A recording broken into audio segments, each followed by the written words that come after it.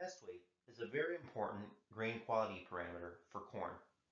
Test weight in part determines the grade of a corn crop, and thus if certain minimum test weights are not achieved, uh, the farmer can be docked um, um, a penalty when they're marketing or selling their corn.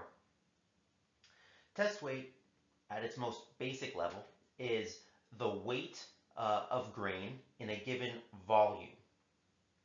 Typically, it's measured in grams per half liter. You can see the apparatus used to measure test weight in the photo on the right. And on the left, here you can see the minimum test rate requirements. This is grams per half a liter for each grade of corn. In Ontario, generally, you start getting significant uh, penalties when you're marketing your corn once uh, that corn uh, reaches below grade 3.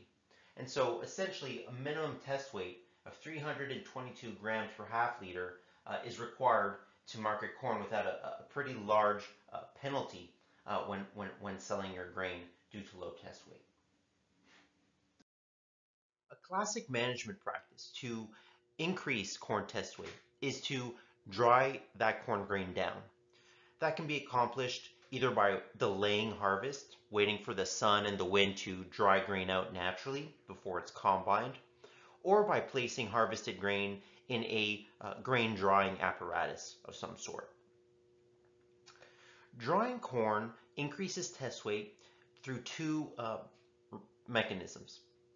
First, when water evaporates, every gram of water that evaporates is reducing volume by one cubic centimeter because the density of water is one gram per cubic centimeter. So generally, as corn grain dries, it shrinks. However, if corn is being dried at very, very high temperatures very quickly, this reduction in corn uh, volume or kernel volume may not occur. If you heat that corn up too quickly, uh, you might get this popcorn-like effect where the, the kernel will actually increase in size uh, as it's losing water. The second reason why drying corn increases test weight is because it's increasing kernel density. While water has a density of 1 gram per cubic centimeter, starch, which is primarily what a corn uh, kernel is made from, has a density of 1.5 grams per centimeter cubed. This means that as that corn dries, it's losing relatively light water, but the heavier, denser starch is staying. And so overall, kernel density, the grams per cubic centimeter of kernel, is increasing. And so for these two reasons, uh, drying down corn generally increases test weight. So let's run through an example to understand the relationship between moisture concentration and test weight. So let's say we have some grade 4 corn testing at 320 grams per half liter at 28% moisture. Let me just get my laser pointer here. So 320 grams gets us at grade 4 corn just before making grade 3. We're, we're 2 grams per half liter away from making grade 3 corn. I should note that 0.5 liters is equal to 500 cubic centimeters. And the current density of this corn is 0.64 grams per cubic centimeter. In other words, 320 grams divided by 500 cubic centimeters. And at our given moisture concentration, we have 90 kilograms of water in that 320 uh, grams of, of grain. So let's try to dry things.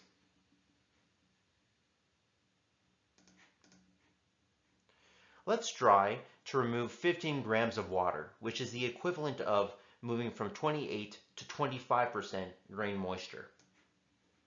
Because we're, we're, removing 15 grams of water, and each gram of water takes up one cubic centimeter of space, we are going to gain 15 cubic centimeters of extra space.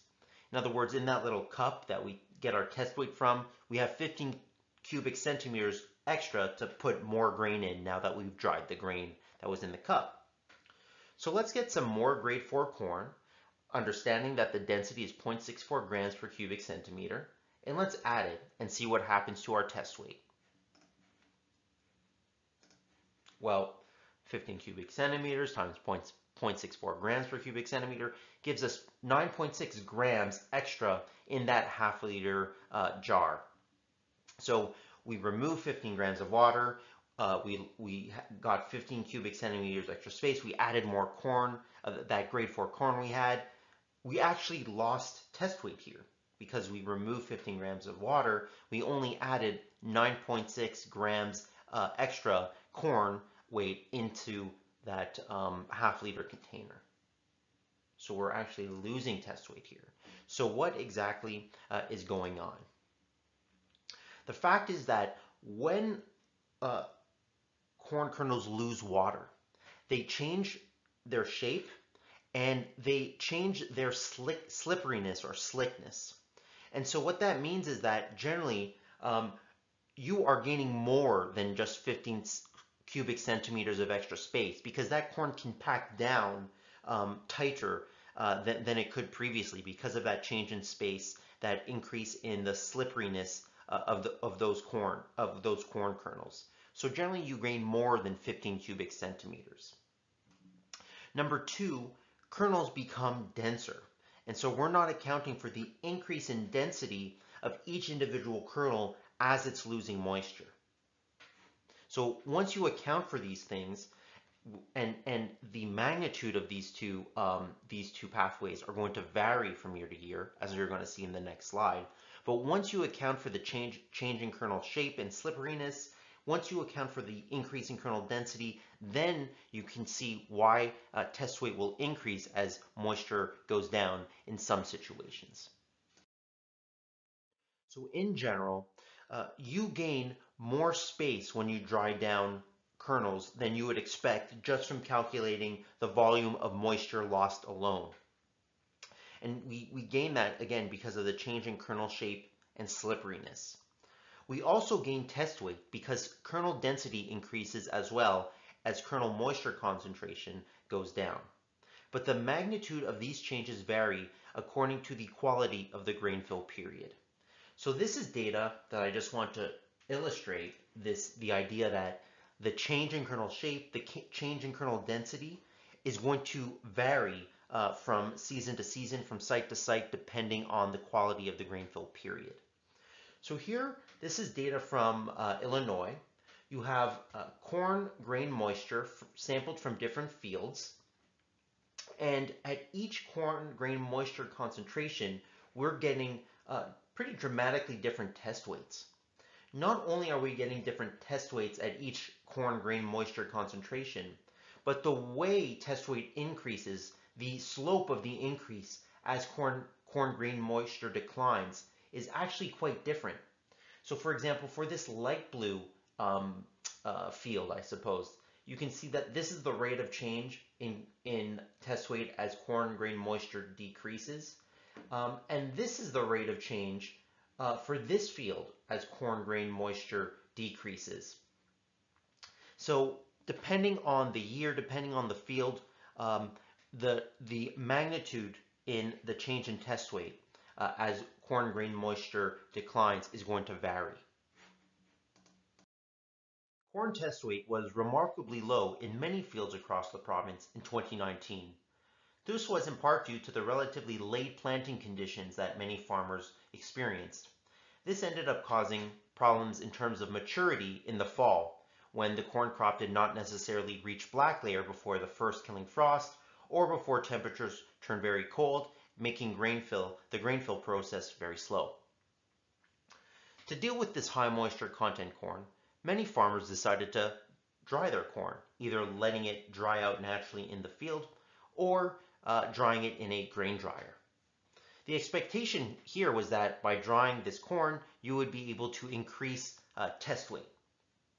However, it was often observed that the exact opposite happened. Uh, drying corn or delaying harvest to hope the corn dries down naturally actually reduced test weight. What was going on? This data from 1980, I think really explains what happened to Ontario's 2019 harvest. Let me just get my pointer here. All right, so here we have moisture content on the uh, x-axis, kernel density, grams per cubic centimeter on the y-axis. This is not exactly equivalent to test weight. It's the um, density of a kernel, which is strongly related to test weight. Now what we see here is that kernel density is going to increase as kernel moisture content declines from 30% down to what we see here, 10%. However, at very high moisture con contents, right, 30% and above, if you dry down from 35, 34, 33%, you dry down corn to 30%, you will actually get a reduction in kernel density, which is actually going to reduce your test weight as well. And so in Ontario, it was probably the fact that farmers were starting at relatively high, say 35% moisture concentration. So you have a kernel density of 1.24, for example. You dry your corn expecting to increase your test weight. Let's say you dry it to 30% but you get a reduction in kernel density, which is going to end up reducing your test weight. Now, the reason for this is thought to be because of the configuration of starch granules in the endosperm uh, in very uh, in, in in corn kernels that have not reached black layer. So if a corn kernel has not reached black layer, um, the configuration of um, starch granules are such that uh, density is going to decrease as moisture is removed um, between 35, 30 and 35%. To quickly summarize, management strategies designed to increase test weight are generally management strategies which increase kernel weight.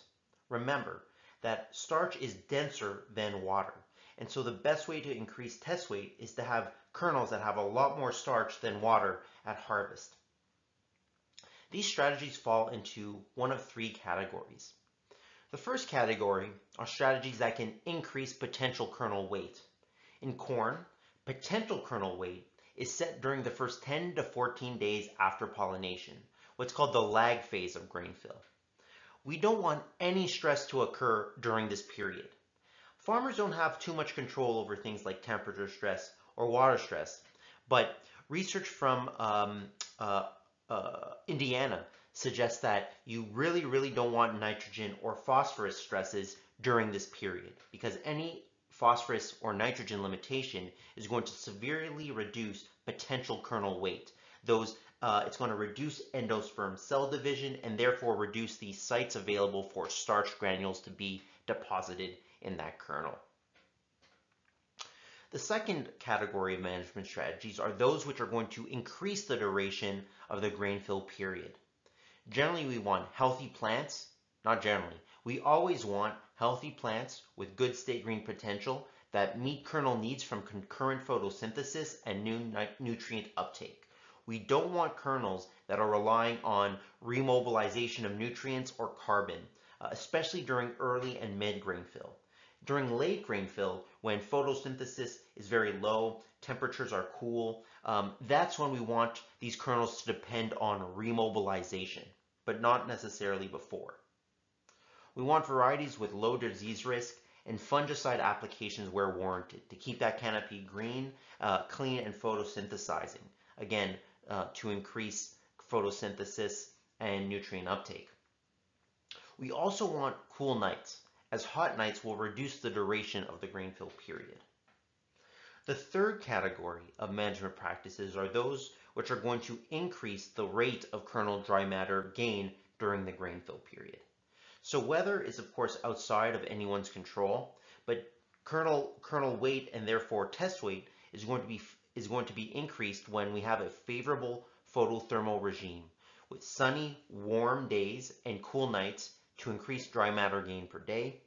And finally, adequate nutrient supply throughout the grain fill period, especially of nitrogen and phosphorus. In the last slide, I mentioned the importance of phosphorus for kernel weight determination and therefore test weight. The reason for this is twofold. Number one, phosphorus is primarily taken up during grain fill. And number two, most of the phosphorus taken up by a corn crop ends up in the grain. In the in the figure on the left, you can see on the x-axis axis growth stage from planting to maturity, and on the y-axis the percentage of total phosphorus uptake. At the start of grain fill R2, we can see that only roughly half of total phosphorus uptake occurred, and that most of it is going to end up in the grain. It's a very similar story for zinc as well as other micronutrients. About half or 60% of zinc uptake occurs prior to the start of grain fill. And so ma maintaining adequate nutrient supply for, for, key, um, for key nutrients which are primarily taken up during grain fill is critical for increasing test weight and kernel weight in corn.